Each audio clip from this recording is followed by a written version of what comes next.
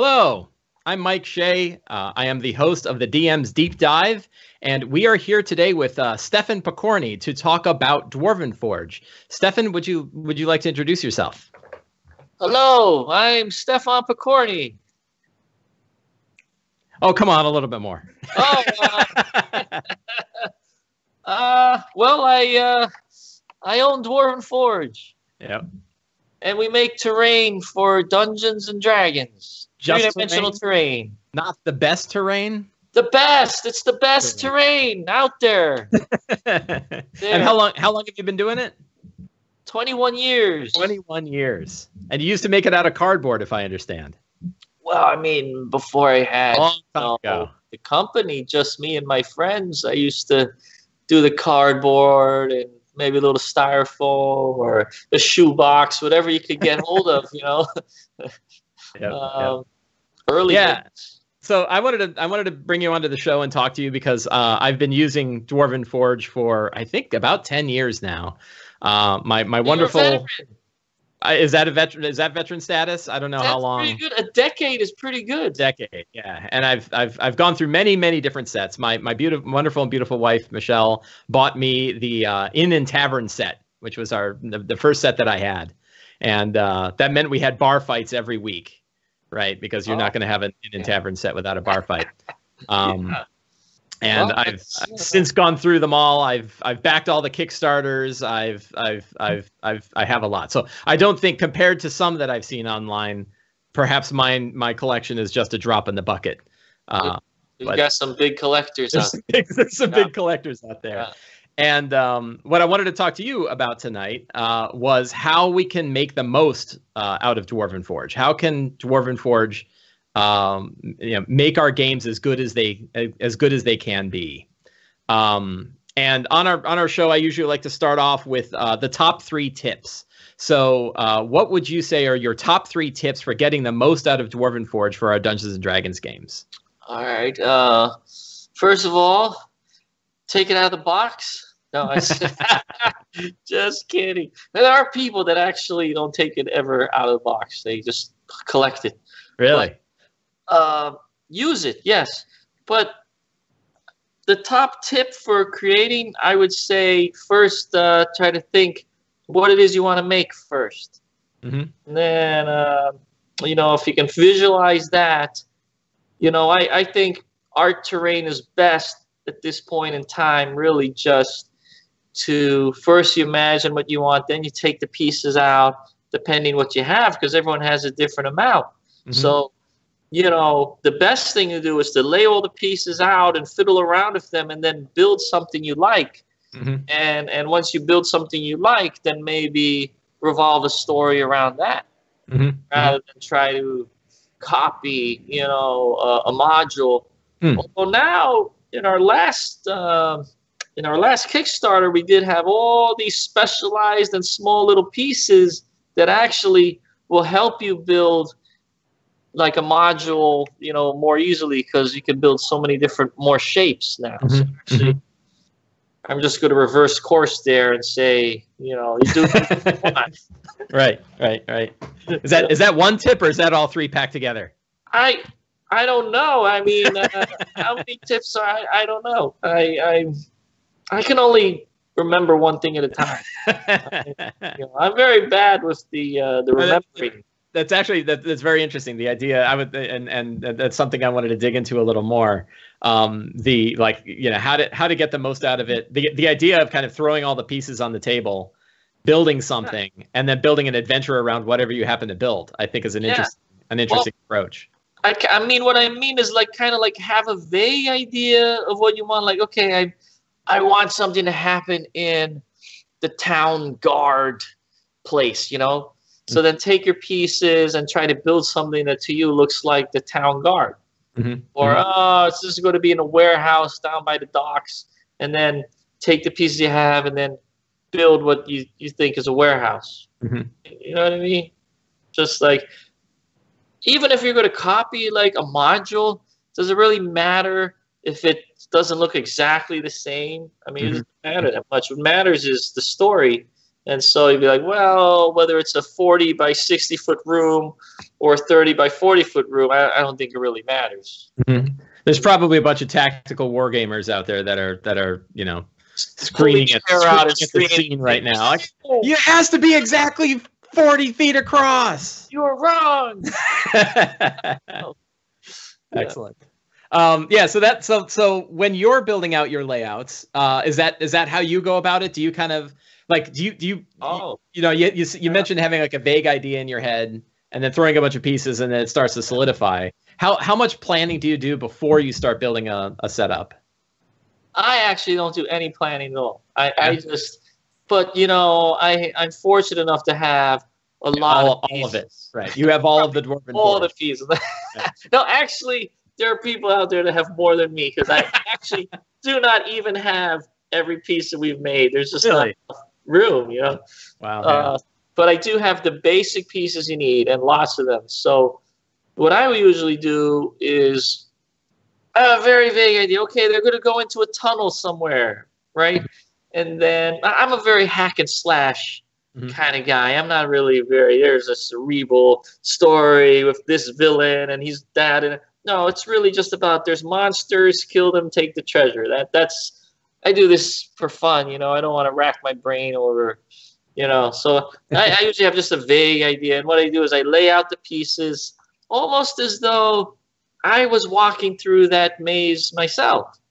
You know, like I'll start with stairs down, then I'll start with a corridor, and then I'll be like, ah. Then I just have fun. I say, well, what should happen here? Why don't I put like a round room here? And then maybe I'll have a bunch of you know entrances and let, let me try this piece over here and I'll start grabbing pieces I like and put them there and then from that as I go along I sort of make up some kind of vague story as I'm playing with the pieces you know mm-hmm. like a little mm-hmm. kid would do you mm-hmm. know mm-hmm. mm-hmm. it's kind sure. of what you do sure sure is that is that how you I mean do you you you almost always typically do it that way do you have any other approaches that you've that you've tried that was kind of like, well, this is a this is a different way for me to build something out? Well, sometimes I might have a particular inspiration, you know, like I might like one time I was imagining, oh, wouldn't it be great if all the adventurers just woke up in a dark cave and they didn't know how they got there and they had their arms and legs cut off. oh no! Eyes were gouged out and uh, their tongues were cut off, so they couldn't speak or do anything. And, and what if they were in the middle of a lake?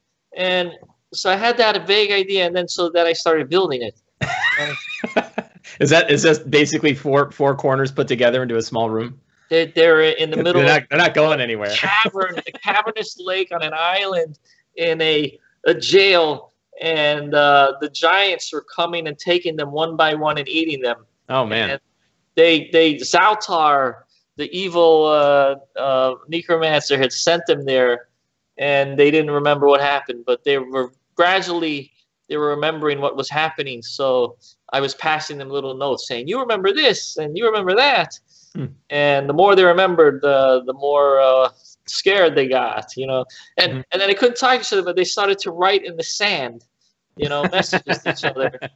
And then eventually they, I don't want to give it away, but they did manage to escape the island and then they were in the cave. Then they ended up having to navigate a whole other dungeon to get out of there. So the whole story was how do we get out of here? And they they managed to get out. Some of them. So it was whole, a success. The whole dungeon, the whole dungeon that you built for that was all glorious Dwarven Forge. Yes, all Dwarven Forge, a lot of it, and there was a lot of traps and monsters, and they they were imagine they finally got away. Mm-hmm. Uh, but that was like one of the ideas, you know. Another one could be like a sewer. Imagine, oh, something funny is happening. You go down into sewer, and then we're like build out a sewer, and then imagine what kind of monsters would be in the sewer. Mm-hmm. Um, mm-hmm. But, uh, so I, I, I, talked to some folks before I, I uh, um, um, before I had talked to you about this, and well, not before. I guess like after I knew you were coming on the show, I kind of you know ask folks about what what we should talk about and a lot of people all came down to if somebody has a limited budget uh what what should they get like what's the what's the minimum successful dwarven forge set well i mean once again it depends what is it you want to make mm-hmm. like if you want to make uh houses, villages, a town, then you want to buy, you know, city builder pieces. If you want to buy castles, then you buy castle. If you want to, you know, build a dungeon, you buy dungeon pieces. If you mm-hmm. want a cavern, you, you buy cavern pieces. So there's many different areas that you could go into. Mm-hmm. But I find the most bread and butter, the thing most dungeon uh, dungeon masters want to make are dungeons. Mm-hmm. So I would say like you know room and passage set, room mm-hmm. set, the the pieces that are just corners, walls, and floors. Right, right. Basically, everything starts with that: corners, walls, and floors. Mm-hmm. And mm-hmm. I, I, do believe we have those available. I know we ran out at one point, but we got restocked. I think. Mm-hmm. Um, so hopefully, we should never run out of that because that is because everyone wants it. Yeah how can you be a dungeon seller if you don't have dungeons, right? Right, right, so we right. Gotta have those. Yeah, yeah, and I've I've definitely found that to be true. The first the first Kickstarter, you know, focused on the corners, floors, and and walls, and and and it's amazing all of the things you can build with just those three pieces. You know, you can build cells, and you can yeah. build hallways, and you can, you know, I've I've been, yeah, it's fun to just so sit there. Basic. The Kickstarter one, it was like so basic. And yeah, yeah. Look back, I think, wow, that was so simple compared to Dungeon of Doom. yeah, right. No kidding. Oh and, and not not having the Dungeon of Doom in hand yet. I, I still and and I, I have them all, but I still the the go-to set that I that I tend to pull out more than any other one is the is the, the you know those are that original set from that first Kickstarter. You're gonna need it when when when you get the Dungeon of Doom because yep. you're gonna love those basic pieces. Yeah, right. Uh, that's really the bread and butter. You want to build rooms. Yep. And all the other fancy pieces are cool, but you're going to find yourself falling back constantly on the corners, the walls, the mm-hmm. floors. Mm-hmm. You know. Uh, so, so uh, taking the corner, of the wall, and the floor, and setting them aside for a moment. Uh, what would you say are your three favorite and, and most useful Dwarven Forge pieces, but like specific pieces that, that you that you love and that you find yourself always going to? That's a very tough question. Uh, all right, I like the traps. Yeah. You know, I'm just an evil man. I love to, you know, make a dungeon and then throw in traps. And yeah. uh, I, I usually, I shouldn't be telling you this. You know, I'm giving a, away a lot of, you know, my secrets, right? Well, that, that's what we're here for. Squeeze you, squeeze like the secrets the, out. Uh, the swinging, the swinging trap that comes mm-hmm. around the corridor and uh, decapitates you uh, the five ton block that falls from the ceiling. Right. So I like to just we have a little block with a chain on it. Right. So I just come from behind the screen, dangling the, uh, the thing, going, "Oh no! You stepped on that flagstone, and you hear a snapping sound from above." And I'll come out with my with my thing, and I'll I'll let go of the string and the crush, their, crush their little miniature. Crush their little miniature the looks on their faces is always priceless. Right. So I'm very evil that way. I, I like to. I, I like to see it when they. You like the torment. They panic and they're like, "Oh my god!" no, no, I just, I just get glared at. I get glared at, and then they, and they get, and then they take out their phones. you know, somehow I get away with it. They're like, "Oh, again with the tentacles." Ah, the tentacles. I've got to get some tentacles. Ah, there you go. There's there's, there's a trap idea for you. Yeah, that one for. Um, yeah. What so what other what other pieces have you found that you really you know, like you, you mentioned the trap pieces? What like what that. other? Uh, I like. This may seem strange. I like really long corridors. Yeah yeah, I just I don't know if it's just because it, it's quick to put down. you know, when I'm building something, it's nice to just put boom, boom, boom, like three long sections, and you're like, wow, you're three feet down the table, you know, already. You're like, wow, that that took up a lot of room. Right. And now they're gonna have to march down that long corridor. Right. Right. And I just I don't like putting together tiny little rooms. You know, like of course it's cool, but I love putting down big passageways, like T-shaped passageway, long passageway, four foot passageway, and, and, and I like the uh, the cavernous passageways. Mm-hmm. And and here's the thing with passageways is, you know, they're very deadly, mm-hmm. right? Because people they don't realize until they're actually in passageways. You have like eight eight characters in the passageway. and monsters attacking them from the front and the back, and the characters in the middle can't do anything. yeah. And they're like, well, I, I'm going to attack. I say, no, you can't, because look, you're three rows down. You can't get to them. Do you have a pole arm? You can't get there. You know, they're so frustrated. And, and meanwhile, the, the person in the front is getting killed. right. And uh, I think that's why I love the passageways, especially the narrow passage. Mhm. I like The to get foot, them five foot passageways. I like to get them stuck in the narrow passageways, and then and then they get attacked from one or both sides. and, Can't see. Maybe it's dark. and it just points out how bad their tactics are. You know? Like you, you you don't never, you don't have it in your game. A bunch of people that see it, see you lay out a passageway, and say, "Oh yeah, we're not going there." Well, I cover everything up with cloth. Yeah. You really don't know what what's ahead. You know, you, you, you uncover it a little bit at a time. Now, when they see that they're going in to a narrow passage, they should all panic Right. and they should get ready for the eventuality. we're going back to the tavern. We're done here. They should know this is a very dangerous area and they should prepare for it. Or one of the things that always happens is they're in a room, but they're getting attacked by a monster, and, and instead of, uh, you know, like for instance, a passageway in a room, instead of all running back into the room where they can now all attack, they immediately they stay in the corridor and fight. And like, dude, that why don't you put yourself in a better position where like eight of you can attack at once instead of just two of you? And you'd be like, "It's been 35 years we've been playing this game." It seems so simple. No, I usually just have all new players. Oh, really? Oh, I okay. come around to conventions Yeah, sure. and uh, you know, so they're always a new table full of players, and they always fall for the same. So eventually, eventually, everyone in the world will will know not to fight in a passageway if you if you keep doing this. Hopefully, hopefully, Teaching, you're uh, teaching the world not to fight in hallways. teaching them about narrow five players at a very time. bad, deadly thing, at a time. Yeah. and they should be in fear of that more than anything. It's funny because while you're talking, I'm thinking like, how do I build a narrow passageway with the pieces of Dwarven Forge that I have? And I'm like, if I take wall pieces and I put them back to front, I can create like a narrow passageway. That's right. Yeah. You're good. I did notice I was uh, narrow passage pieces. Yeah, well, right, right. I noticed that um, I, I was I was poking around on the Dwarven Forge website uh, yesterday, I think, and I saw that you now have Dwarvenite hallway pieces Yes. that I don't think were on the Kickstarter originally. I don't, I don't. If they were there, I don't remember them. we did have them on the new, the Dungeon of Doom, or, or ones that are No. there. now? Th- These look like they were from the original. You know, they, they look like the original Dwarvenite pieces. Oh, You don't have columns and whatnot. Um, yeah. but they but they were like you know hallway pieces, and I was like, oh, look at those. We do have some modular, ten foot wide hallways. yeah, I think I think those are wider than the five foot. Yeah. and they have very strange shapes. They're like, because you can put them together to make a T shape or a four way. They, they have very peculiar shapes. Takes a little bit of thinking. You got to get used to how to use them, but then you can make all kinds of passageways. Mhm. We, I think we do have those available.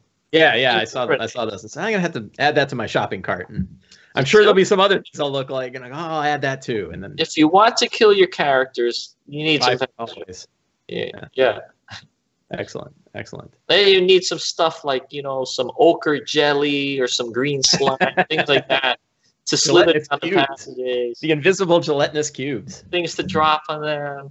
You know, Right, right. Um, what accessories have have you either used or you seen used outside of outside of the the the um, uh, the products that that you actually sell that have worked particularly well with Dwarven Forge? What are what are some things you've seen people use that that uh, you, you mean terrain or? well, so like you know, I'm, i like lighting effects or fake spider webs from the Halloween store, or you know, other things that people have kind of added to Dwarven Forge to make it to make a setup even cooler. I see a lot of people on online on the forums and on Facebook. They post pictures of special lighting effects. Mhm. Or one of the great things I think is they're the the modders. They call themselves the modders, and they will take pieces and then they'll they'll cut them up, or they'll dig out spaces. They'll add LEDs. They'll change they'll change my pieces and, and make them better. Mhm. They'll change them. They'll add stuff to them, and they're called modders, and they they have like, you know, even their own like fan website where they post pictures of all the different things they've done, spliced and diced them, and they do some really cool stuff. Um, and there, of course, you know, there's lots of companies out there, competing companies that have houses and castles, and and sometimes I see them combined to make a city, and I'll I'll see other people's stuff, and uh, they go good together. Mhm. Mhm. So uh, it becomes more interesting. And uh, what's great is that you know if everyone just keeps everything in the same scale, you Right. know, they can mix and match stuff. Mhm. Uh, So I, I think during the Dungeon of Doom Kickstarter, uh, in some of the videos, you were using like smoke machines and stuff like that to make it look oh yeah, kind of cool. That- Have you ever, have you used that during your actual games? Uh, we ran a game at Gen Con where we actually utilized a smoke machine. I think Mm-hmm. from this company, FX Special Effects, something Mhm. Dungeon Effects. Where's that dungeon? Here? Oh, should I have? No, I did uh, uh, the smoke machine at Gen Con. I wasn't at that. Ah, he missed it. well, but they had a Kickstarter and they sold all these fog machines that so that was really cool. Hmm. And uh, we built a castle in the town and uh, the smoke was going all over. Yeah. Cool. Didn't didn't distract didn't didn't kick in anyone's asthma or anything like that. No, it was water-based smoke. you know, water-based. And the only thing, after a couple hours, you get a little bit of condensation, so you got to wipe the pieces with some paper towels, but they Mhm. hold up fine. right. But it was actually very useful in this adventure because they had to find a trap door on the ground, and the, actually the, the fog was covering it up, Mhm. so they, didn't see it at first.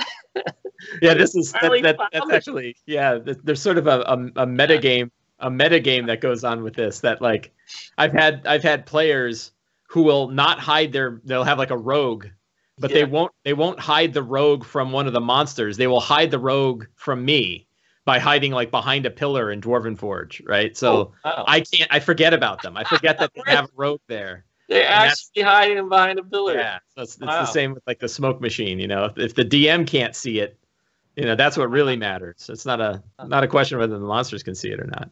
I see. Yeah. You must be very difficult for the, they're resorting to all these sorts of No, it's the exact opposite. They- they're they difficult. walk, they walk all over me. They're difficult. Yeah. Uh, have you? So, so this is another another like common joke that I see on on Twitter, particularly with really elaborate setups, is that you know somebody'll somebody'll set up a really elaborate setup, and then the, and then the big joke is yeah, and then that's that's the time when they took a left turn and went someplace completely different. Right. And we, we don't feel like going to the castle. Yeah, we're not. We don't want to go there. Yeah, yeah. I I think I yeah I, I had built my right after I got the castles Kickstarter, built this huge tower with the lights and everything like that, and they're all like, yeah, we're not going there. And I said, look, whatever direction you head, you're only going to a castle, That's right? Like right. these are all around you. You're surrounded by That's these right. things. you got to closing kind of corral them in, you know. How Um, do you, I, you handle that in your games?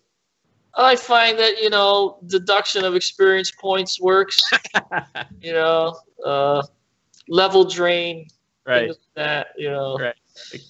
It's usually, you know, I mean, come on, you know, when they come to play with me, you know, they, they're, they're expecting certain. They don't. They don't walk into your game. and Go. Ah, we don't want to go to that stupid Uh, dungeon. we want to go yeah That's we're gonna go. looking for, you know. So Right.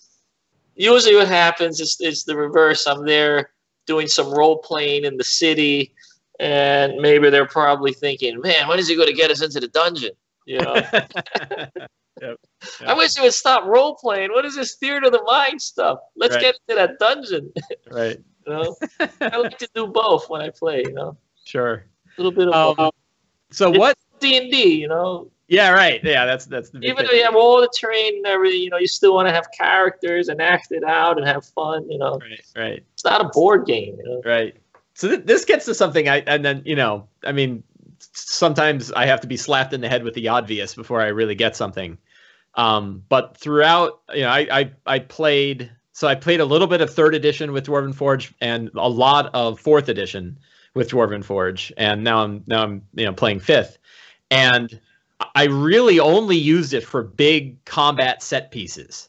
Right, like I'd build out big arena, like big battle arenas, you know, and every every object in there was like something that would occur that would have an effect in combat. And what I realized watching you guys talk about and um, play with the uh, Dungeons of Doom stuff was like, you know, scenes of, of of interaction and exploration are just as rich with Dwarven Forge as combat scenes are. You know, it doesn't have to be filled with monsters all the time. No, no. I mean, everyone's different, right? I mean, you can.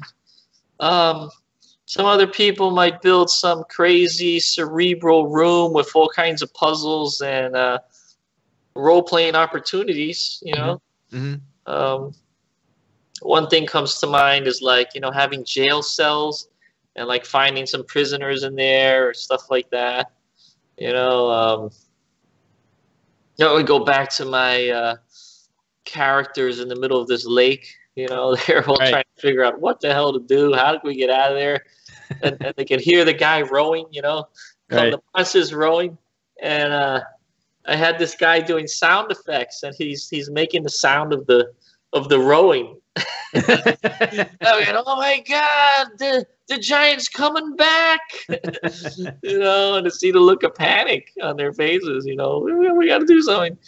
You know, it's a lot of fun. hmm Uh, I, I use, you know, I, I dress up and I got, uh, I turn the lights down hmm and I've got ambiance music, special effects music, and Mhm. yeah, I try to really get into it in uh, every aspect I can. You know, when it's a full-on theatrical D and D, you know, hmm then I try to you know do everything I can to Mhm. make them feel like they're there.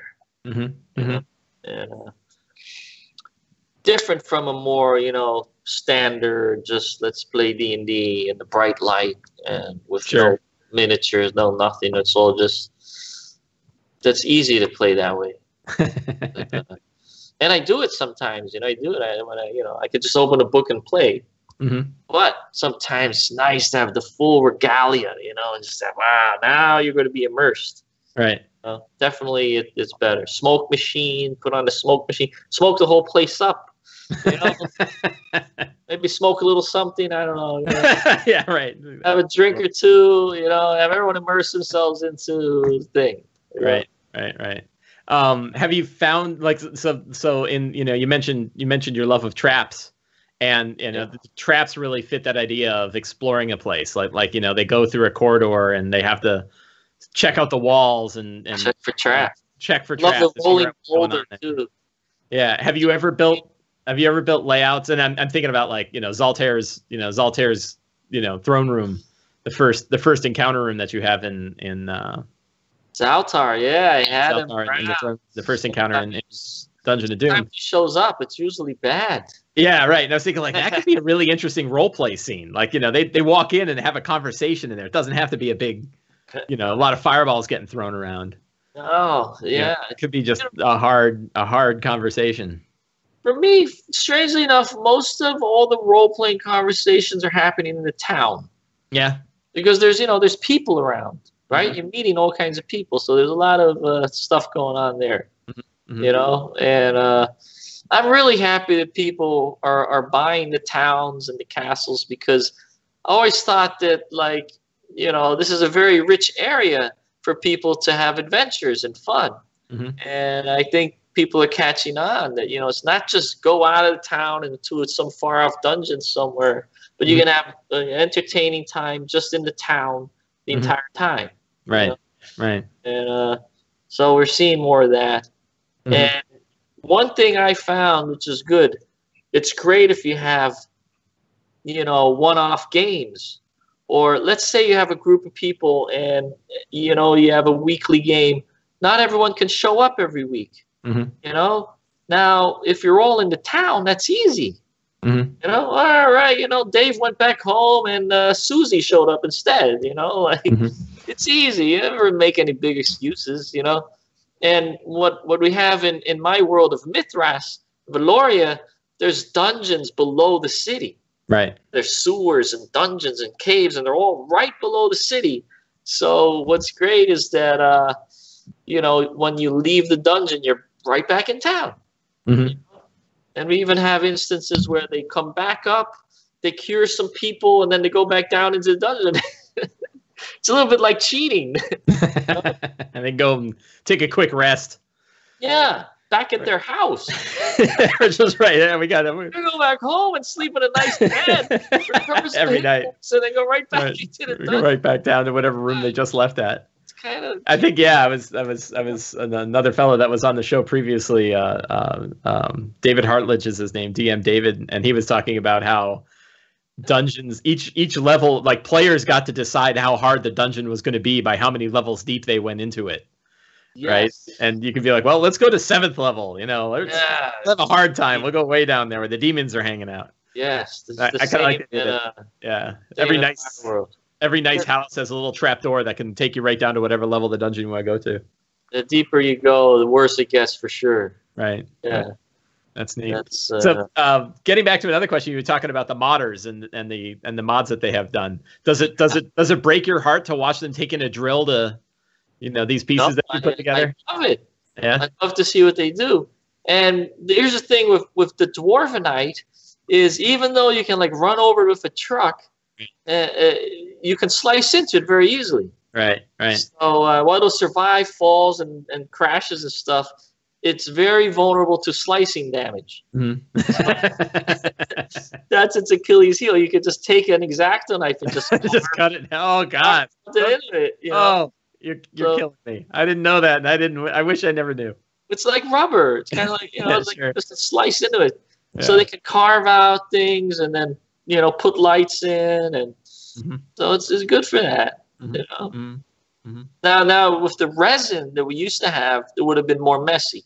Then you need to get like you can't carve into that. Yeah, and you can't, you like can't a even, Dremel. right. You know, zzz, You gotta put a mask on, right? You can't That's that really stuff. messy. Yeah, that's a lot harder to mod. So Right. all the modders really love Dwarvenite. It's much better for them. No Sure. mess. You know. Yeah, Dwarvenite's Dwarvenite's great stuff. Yeah. Yeah. It's okay. Um, so for people on the road and and for people who play games outside of their house, uh, are there good techniques that you have for like both how to you know how to pick the right sets to to transport and then how to sort of build them and tear them you know build them up and tear them down quickly?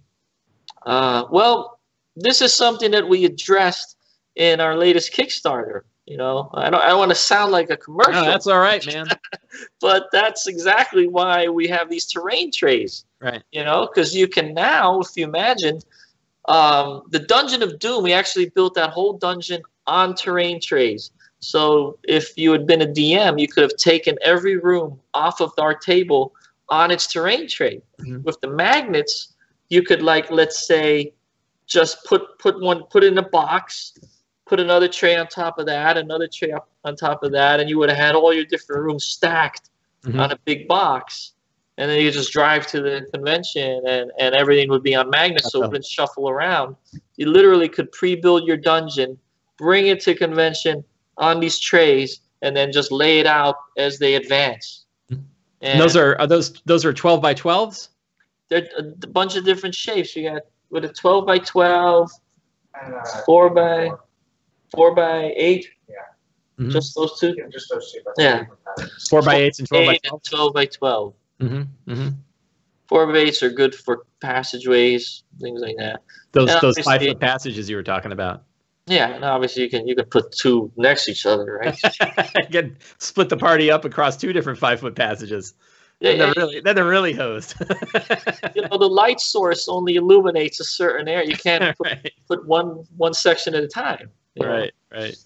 Uh, um, that yeah, that's that's I'm I'm looking for it. I picked up a couple of the, the the terrain trays, and I hadn't really thought about the idea that yeah, that means I can build a room ahead of time, Yeah, and then You stash it out. Take, take it right to the shop and, and you, drop it on the table. it you keep it behind your screen or you know in the next room or behind the the curtain or something and you just go and you grab the next one Yeah, yeah. see i usually just pre-build the whole thing on the table cover it with cloth right. little pieces i take t-shirts and cut them off Yep, cut them yep. up and I just lift it off but you could also use a terrain tray and just bring it out Yeah, yeah, that's that's neat. Yeah, I, I do the same. I have a bunch of old old black T-shirts that I cut up and and I use as my fog of war. There you go. And then if you have a small table, then that's better to bring out bit by bit because you only need to have like maybe one or two rooms at a time. Right. When they continue, you just you know take one off and bring in another tray, and you know you can kind of scroll it along. Yeah. Yeah. Yeah. Great. There different methods. So we're we have one one other participant here, our guardian angel, Alex Basso. Alex, are you there? Yes, hello, I'm here. Do you want to do you want to give us some questions from the audience? Yes, let's get Audience. started with them. Thanks for everyone who's asked questions. You questions. thought it was just you and I this whole time, didn't you? Oh my God, we're live! Okay, so first I have one from Grant R. Ellis in Twitch chat. He wants to know what artists inspired you or influenced your style. Oh wow, uh, my style, like is in uh, dungeon making or painting or We'll go with dungeon making. dungeon making. Uh, I mean Donald A. Trampier, that you Mhm. know was my favorite artist from the from the first edition books. Uh, also Frank Frazetta Mhm. was a big influence. I loved Frank Frazetta and, and especially reading the uh, the book. The book really only wrote one long book and a bunch of little scattered stories, but man, what a what a book it was. I think it was called The Hour of the Dragon. Hmm. And then later they, they renamed it like Conan the Conqueror. Robert E. Howard, man, that book is just it's Dungeons and Dragons, you know, like every bit of it, you know. And so when I build dungeons and stuff, I'm imagining that. Lord of the Rings, Tolkien, you know, imagining those kinds of things. Um, other than that, I mean, when I started making these dungeons, uh, there really wasn't anything else. There Mhm. wasn't anyone making really dungeons. Mhm. There was a few things I saw here and there, but uh, nothing on the scope. I think there was a, a company that did something, the dungeon work, and uh, there were like little things on on, on uh, magnetic walls, Mhm. And I think TSR had done some kind of orc caves or something, perhaps, but mo- mostly everyone was just using uh, pen and paper Mhm. until I burst on the scene 96 with the full out dungeon Lego like dungeon pieces. Yeah. Right. Right. That was so my, I was inspired by miniatures. There Mhm. wasn't really people making sculpted dungeons, but there were people making uh, really great miniatures. Right. Tom Meier comes to mind. He did some incredibly beautiful little miniatures. Tom Meier, Sandra Garrity uh, did beautiful miniatures, and so Sandra Garrity is one of the first sculptors I hired Ah. to do some of my stuff. Uh huh. I was always I, I'm still honored that to someone that I was you know uh, admiring was now then working with me and doing sculpting pieces. So That's I still pinch myself. Know? Living the life. I am. I am living the life. really. I was in New York reading uh, these books. Gary Gygax. Who is this genius? Gary Gygax. Wow. Never imagined that one day I would meet him yeah. Right. and be friends of his family and, and go out, you know, raise a beer with Luke Gygax and Ernie and Alex and all these guys. I mean, I would be nuts. Nut. Never would imagine it. So I am living a kind of a, a dream, you know, That's great. fantastic. Yeah. And we all we're all benefiting from it. We you know, we got a great community. The gaming community is just great. I think it's uh, one of uh, mankind's uh, last hopes to retain our humanity. That- that- You know, in this digital age where we're all.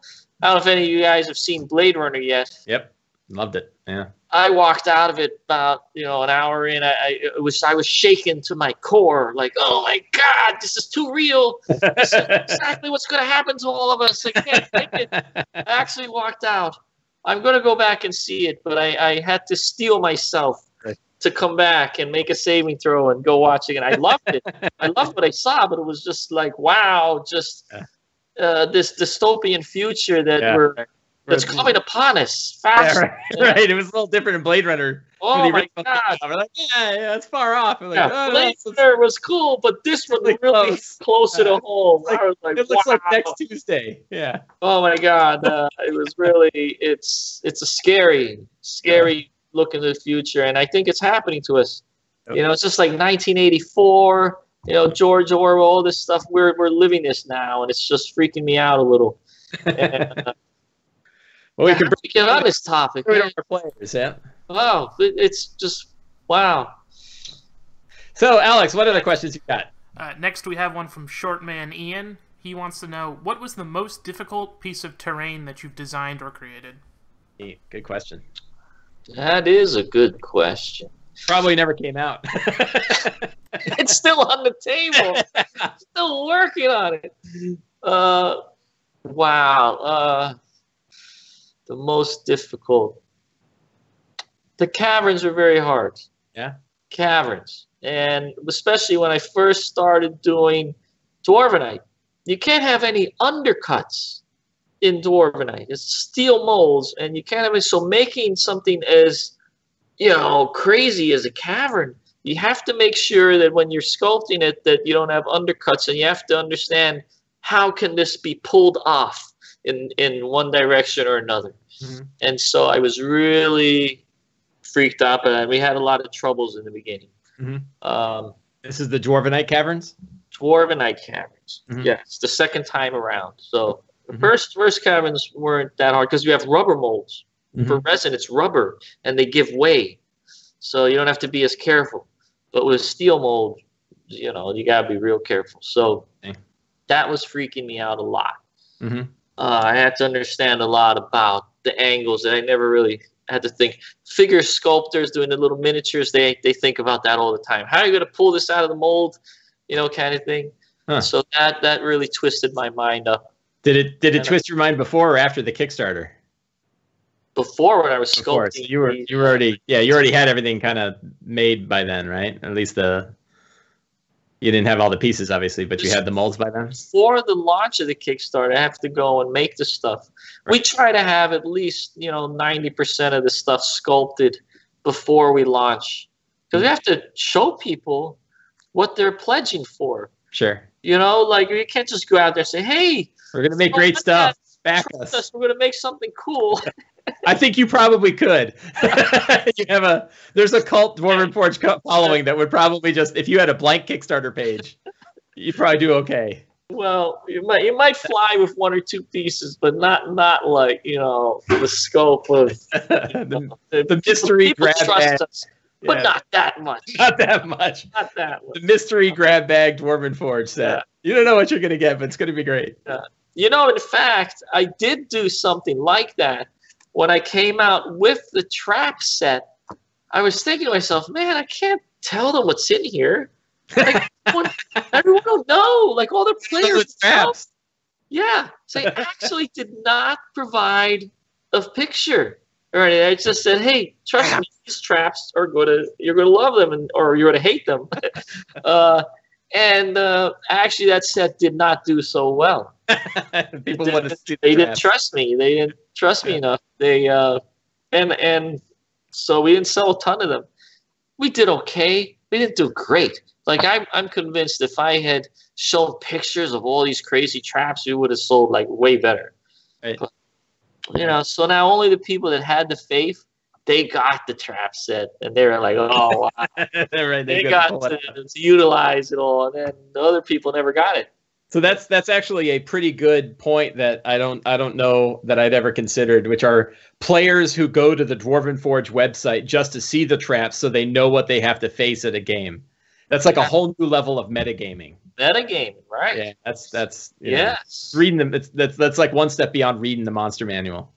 Well, I mean, what I would say is that there's so many things now Yeah. that you just don't know what's Yeah, going to be on the next right, corner. Right. I Is mean, it, is it's it going to be the block that comes and crushes me from above? right. Or is There it the beheading the beheading wall trap? You don't know which one. you don't know which one, and you don't know when. You know, they're coming at you all sides. Right, You know? yeah, That's great. Alex, what else you got? Is he I have a question here from Sayer. Uh, he wants to know: Do you have any ad- any advice on how to run a wildly successful Kickstarter, and were you surprised by the success of them? Uh, well, no, I, I, I'm an optimistic guy. I, I thought that we we were going to do really good. I, I actually thought we would do better. Hmm. You know, my we did the first Kickstarter. I thought we'd do better. Um, I was, I, guess I was happy in the end, but I really thought we should have reached more people. Hmm. And I thought it was maybe the first one. Maybe that's why we didn't get as many Mhm. people. You know, I don't know. Uh, It was a but I'm very happy now. It did it did good. It's all about the backer numbers, right? Mhm. So um, what I think we did that was our best one in terms of backers. We did like four or five thousand, Mhm. I think, right? And uh, then our least good one was like uh, I think it was Castle, Castle, thousand seven hundred or something for the castles, Mhm. which was a lot low. Right then, uh, Dungeon of Doom, we did more, right? We did Yeah. two thousand seven hundred. I think it was two thousand seven hundred. We're getting back. We're getting better again. Mhm, mhm. But uh, you know, I, when I think about all the Dungeons and Dragons people out there, I think it must be like ten million or more. Hmm. You know, I I I I realize that we're a very very niche, very small group. Mhm. You know? And I understand it's because it, it costs money. Mhm. You know, it costs money. But uh, I want all of them. I want to get all. Of them. I'm yeah, I imagine it's going up. I mean, fifth fifth edition, yeah, just from from numbers that I've seen kicking around, fifth edition is definitely bringing more people into the the RPG circle Yeah. overall, and I imagine that that you know, and uh, people like it. I've heard good things about fifth edition. Uh, I still play first first edition. you've never played fifth edition.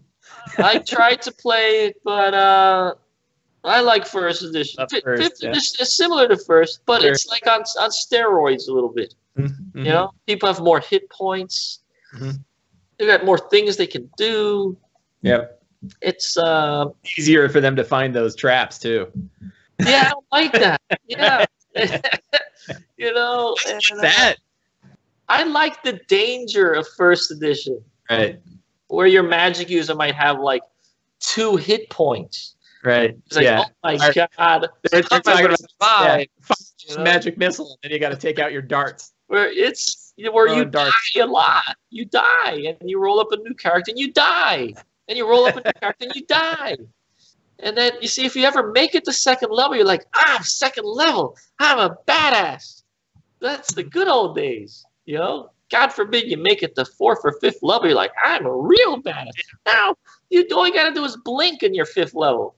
You know.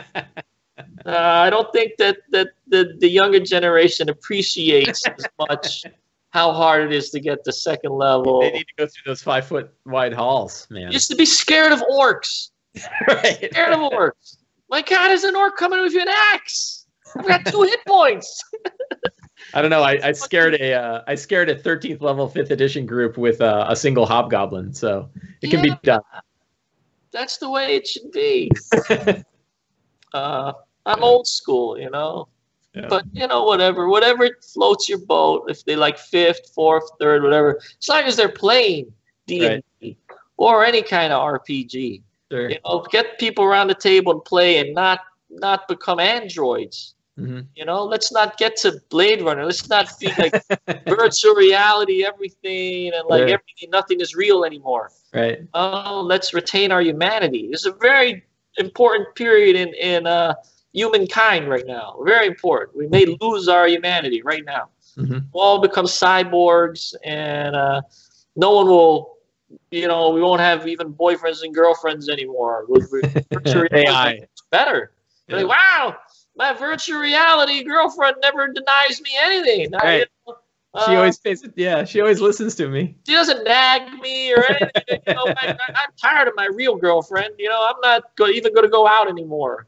You know, what if that happens to everybody? Yep. You know, we already have like this crazy war warcrafts. You know, and everyone's like, they play this virtual, they have this virtual reality life, and they end up sitting at home doing nothing. Maybe I'm exaggerating, but you know, this is the worry.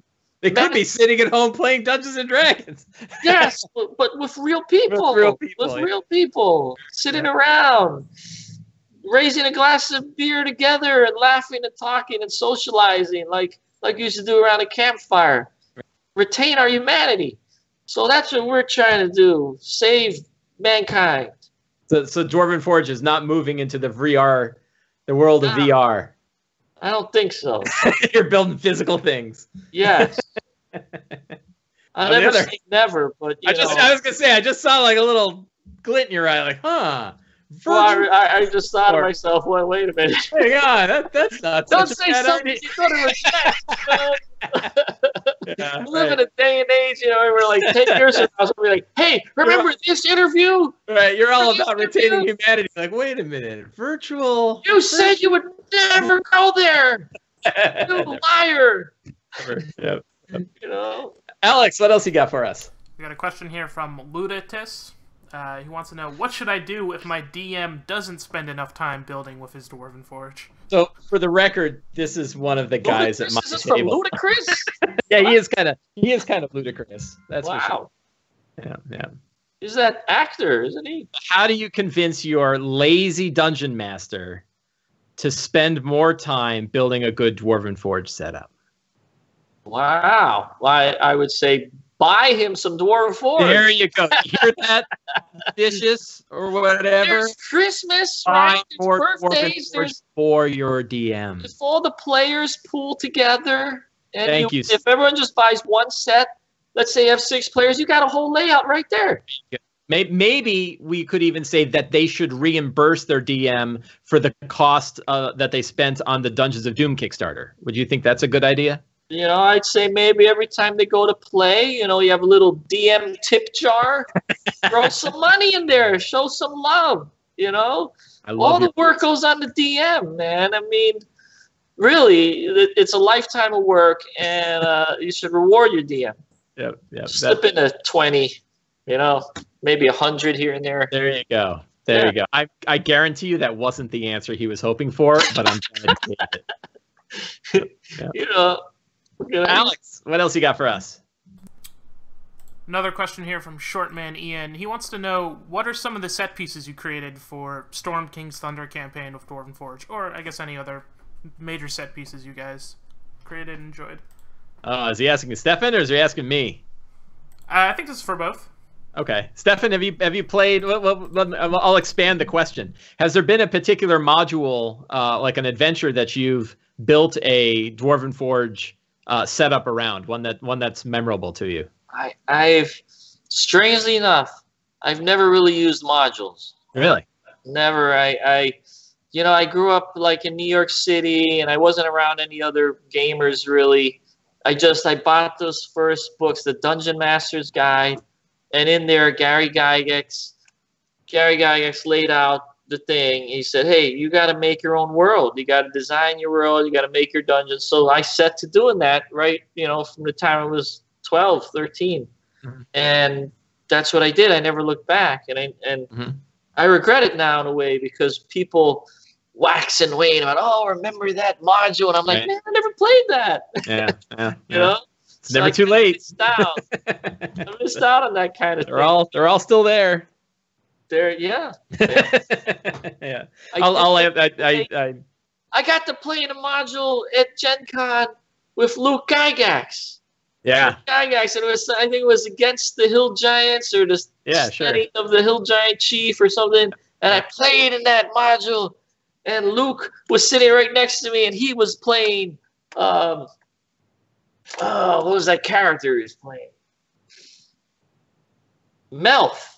That's Oh, his yeah, character. sure. He was playing Melf, yeah, and he Yeah. had he threw the little minute meteors, yeah. And the, and the acid arrows. and I was just like, "Wow, I can't believe I'm sitting here Yeah. next to Luke playing in this module, Actual- and he's throwing the meteors." You know, I was like, "Wow."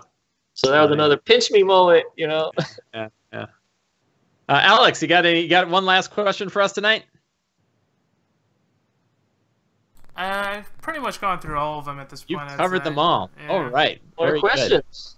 No more questions. We've we've answered it all. Yeah. Uh, Stefan, I want to thank you. This has been a, a wonderful conversation. I love your work. I've been a fan for for a decade. I, I used it two days ago, and can't wait to get my my Dungeons of Doom Thank in, you. in hand.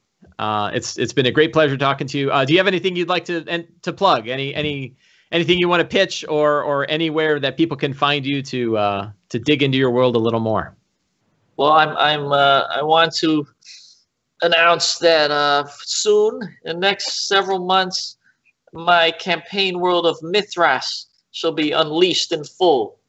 We already have the short version, a short you know taste of it up on our website. You can download a PDF. It's like 63 pages, but we're going to launch into the campaign book and the player's book. They'll both be different maps, of course, lots and lots of maps, illustrations, and the whole broad-ranging Mithras and City of Eloria. And uh, I'm very excited because obviously I've been working on that for 30 years, and uh, it's going to come out soon.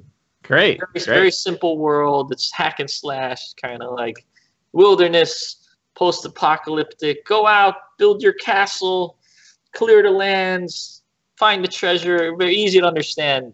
You know, Right. game. Right. Yeah, and and, Like- and and I think it's part of. I I, I assume that the um, uh, the Dungeons of Doom adventure that you guys put together as part of the Kickstarter, uh, that's in Mithras as well. Uh, you know, Nate made that up. Nate, Oh, did he? Okay. he's Yeah. the guy. He's got a mohawk, and he's Yeah, a very, yeah, very yeah, I know creative Nate. guy. And, and. Toby was also helping you. You guys were figuring this out. Yeah. Yeah. They, they think you got, figured it uh, out. You have Yeah. a Teos Teos Abadia is is writing at least some or some of it for you, I believe. Is that right? Ooh, Teos Abadia. Teo Sabadia. Yeah, he was the one that was writing him up at uh, Oh, okay, yeah. You see, guys? yeah, he's he's been on this very show himself. oh, yes. So they were working with people. They were building that thing up while I was doing something else. You know, Making hopefully worlds. sculpting. I, I don't know. yeah, right. they were building that whole thing up, and uh, that has nothing to do with. Uh, but who know? I mean, you can put it into any any world. You know, why not? Uh, there are some things in it that are part of Mithras, like the burrows. The burrows we imagine together. This is in a, in a particular area of Mithras. There's the burrows, and of course, uh, lots of things that we create to imagine Mhm. it's in parts, but it could be part of anybody's world. you Yeah, know, it sure. needs to be Mithras, it could be yours, yours, anyone. right. Basic dungeon things, right? Right. Chasms, LEDs, I mean, all, everything in there is standard basic stuff. That's great. Yeah. Well, it's been a great pleasure to talk to you. I, I appreciate your time. I appreciate you coming on the show. I wish you luck with all your future endeavors. I'll certainly be certainly be on board. So, so- Right on. We're getting ready for Kickstarter 6 now. oh no, Yes. announced here. You're doing another one. That's shocking. We're, we're working on it right now. We just got to get started. I Yep. think there's going to be, you know, should we spill some beans here? Spill a bean. Give us a bean. Huh? Yeah, We haven't even started work. He says no. oh, worth, it. worth a shot. Uh, yeah, there may be some. I can't say anything. No. Oh, you can say it. We won't tell anybody. We may revisit the cavern situation. Ah, interesting. Okay, very good. Very good. Well, whatever it is, there we'll be be, some caverns. Will be some There will caverns. be caverns in there. We decided there needs more.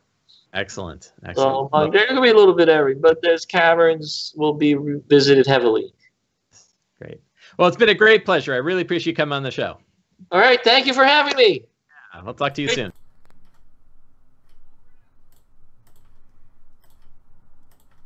All right, thank you everybody for watching. We'll be back tomorrow night at 7:30 Pacific with the uh, Venture Maidens stream. Have a good night, everyone.